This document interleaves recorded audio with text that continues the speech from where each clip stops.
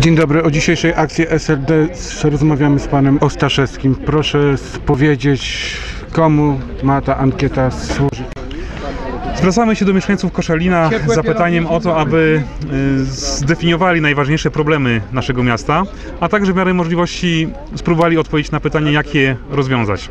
To, o czym Pan mówił, to faktycznie jest to jeden z głównych problemów, na który zwracają uwagę mieszkańcy. Do tego dodałbym jeszcze bezrobocie, ogólne zubożenie społeczeństwa, emigracja ludzi młodych y, z Koszalina. Te wszystkie problemy są wskazywane i mieszkańcy chcieliby, żeby władze nimi na poważnie zaczęły się zajmować.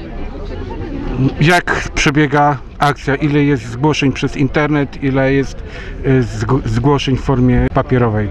W dniu dzisiejszym jesteśmy pierwszy raz wśród mieszkańców Koszalina. Spotykamy się z nimi po raz pierwszy na giełdzie i rozdajemy ankiety. Jest, zainteresowanie jest bardzo duże. W dniu dzisiejszym zebraliśmy już na, na, na, na godzinę, teraz mamy około godziny 12, około kilkadziesiąt ankiet i tak samo kilkadziesiąt ankiet napłynęło drogą internetową. Także to pokazuje, że zainteresowanie jest spore, mieszkańcy chcą się wypowiedzieć, a my no, w jakiś sposób niestety zastępujemy władze miasta w pytaniu się o zdanie mieszkańców. Zresztą nie pierwszy już raz.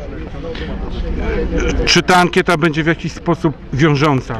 Przede wszystkim uważamy, że władze miasta i program wyborczy każdej partii czy innej organizacji musi liczyć się ze zdaniem mieszkańców. To nie może być tak, że spotyka się kilka osób i one uważają, że wiedzą wszystko o danym mieście, wiedzą wszystko o danej miejscowości i próbują narzucić swoją wizję mieszkańcom, w tym przypadku naszego, naszego mia- miasta. Te odpowiedzi, które mamy już na dzisiaj, po krótkiej nawet analizie, pokazują, że mieszkańcy nie godzą się z pewnymi wizjami osób, które uważają, że wiedzą lepiej.